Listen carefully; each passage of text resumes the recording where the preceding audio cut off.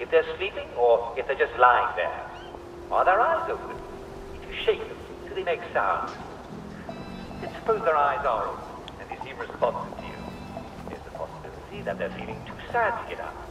In that case, you're dealing with a down. You all know what to do with a down, don't? Offer joy. If they it, What the fuck are you doing here? Oh, leave us alone! Why won't you leave us alone? She's going to fucking kill us if we keep fucking up! Don't worry, Roger. I'm going to fix it because that's what I do, apparently. I'm fucked.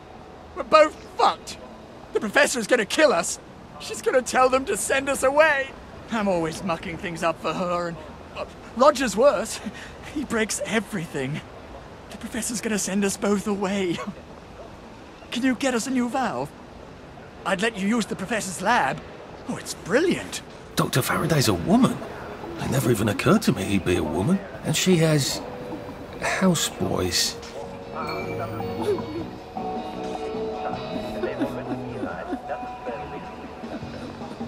Just pretend that the person between you is not there. And really, they won't see.